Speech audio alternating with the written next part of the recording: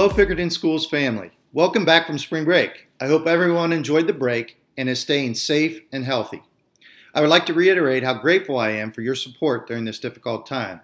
Your positive attitudes have made all the difference as Pickerington Schools has been able to quickly and easily transition to home based learning. I'm amazed by you.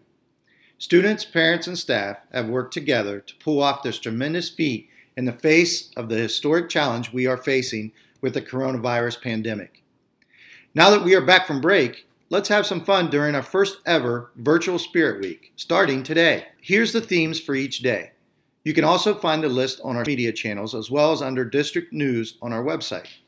We are asking students, staff, and parents to show off your Pickerington pride all week, including Saturday and Sunday, when the entire community can get involved by placing purple and black dressed teddy bears on porches for families to hunt. Use hashtag PLSDProud and we may select some of your Spirit Week photos to share to our page. Or you can email them to us for a chance to win free PLSD swag. We can't wait to see your photos. Another first will be our virtual school board meeting tonight, beginning at 5 p.m. Links for the public to join the meeting, the meeting agenda, as well as an electronic form to submit if you'd like to address the board during the meeting can all be found on our webpage.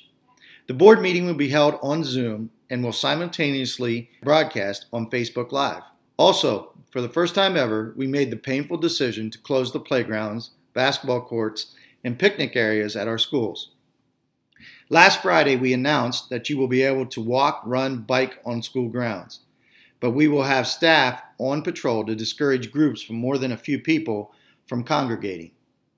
Remember, you can always view details about how Pickerington Schools is handling this extended closure in a one stop web page, including Blizzard bags and online learning ass- assignments by grade level, district office hours for in person technical support and hotspot issuance, info on how to enroll or register students online, locations and times to pick up free school breakfast and lunches for anyone under 18, useful links to help educators you and your family deal with the lifestyle disruptions caused by the coronavirus outbreak, and much more.